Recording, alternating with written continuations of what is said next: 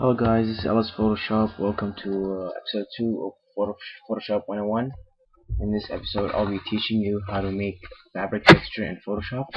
There's two ways I know of doing it, and I'll be teaching you these ways. So just make a new layer, uh, new uh, image, 920 by 1080. For uh, the first way you want to do is fill it with black, then go on Filter, Texturize, Texture and Texturizer and want scaling at 91 and 2 and make sure the light is top and that's okay. Just gonna make this a layer and duplicate it. Put this on screen. Go on uh, filter. Sharpen and sharpen it. Go image adjustments and curves and turn it up. You got this uh, kind of fabric texture but if you want to make it uh, a squared kind of fabric texture you can just duplicate this layer. And then make it look like this.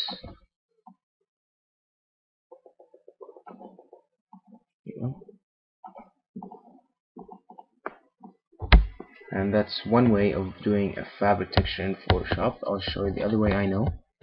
This isn't really my way. I like doing it this way, the one I'm going to show you right now. Just make a new layer. Fill it with uh, about light gray, 50%. And then go on filter, render, fibers, and make uh, the fibers 21 and the strength 40, 45. And press OK. Then uh, duplicate the layer free transform and just rotate it about 90 degrees and put it on uh, screen or overlay whatever which one on overlay will be darker and screen will be just lighter. So right now let's just stick with uh, screen. And then after you've done this right here you already have uh, a good looking fabric. And just make a new layer.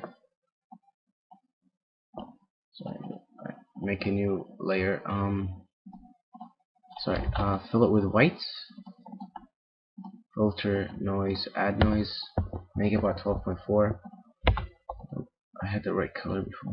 Um, yeah like that. And filter noise add noise make it about 12.4 go on filter blur motion blur about uh, 90 degrees. Distance for make it 50 and press OK.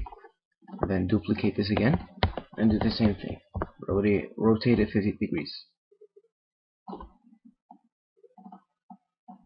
then there you go. We'll put it on uh, overlay or screen. So we're just gonna make this darker.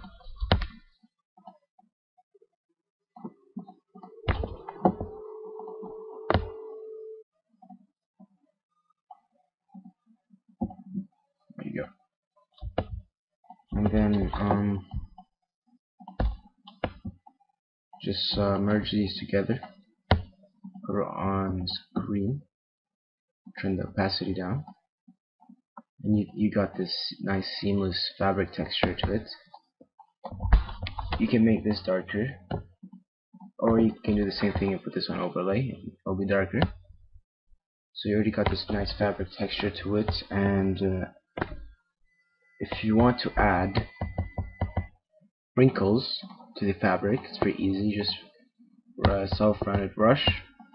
First one, make it white, and select whatever size one. You I'm just gonna do this fast so I can show you. Just do them like this, and then duplicate this. Um, just uh, put the lightness down. Move to the side, and merge them together filter, uh, blur, Gaussian blur, and turn it up like this. Then put it on overlay and turn it down about 10%.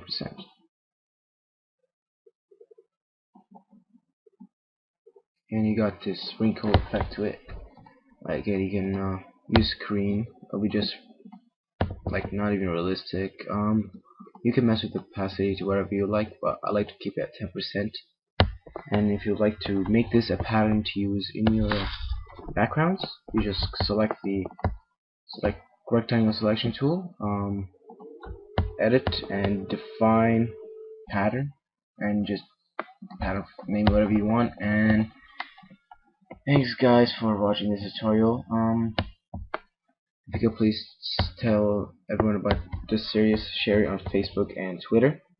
Um, next week I might be doing a tutorial on how to do whatever you want. Just post it on the comment section below and I'll do it. Thank you. Thanks for watching and this is LS Photoshop. Thank you. Bye.